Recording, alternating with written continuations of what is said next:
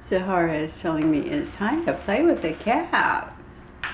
It's time to play with the cat, but Sahara, I've got things to do. What's this thing sitting here in the middle of the...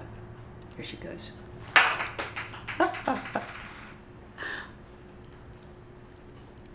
okay, while we watch Sahara, we'll tell you a little bit about the very first painting project to go into the sunroom. Sahara.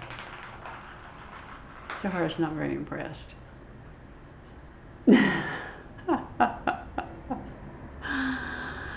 um, well, where do I start?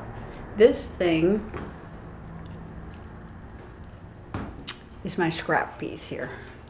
Everybody thought I was going to paint a mural on the wall first, but not that's not to be. We're trying our hand at painting a window. We've started it yesterday.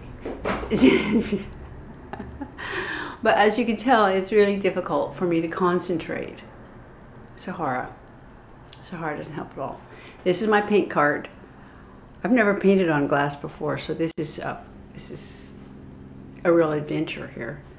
I came up with my design. It's all on tracing paper, which is taped to the outside of this long, narrow window. All the windows now have blinds on them, which I guess I have not shown anybody yet, but they're just your basic Venetian blinds.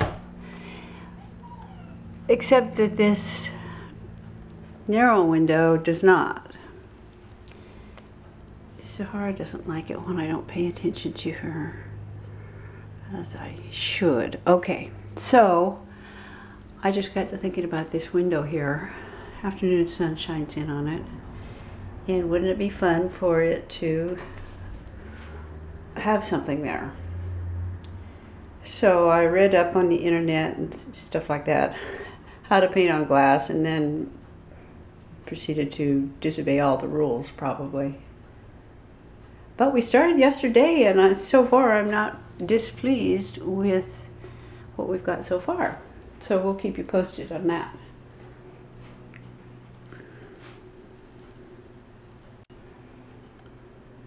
Sahara. She's off, off and running. She's gone. Sahara's gone. Anyway, I can't wait to get to this, but I got a half a dozen other projects first this morning I need to work on.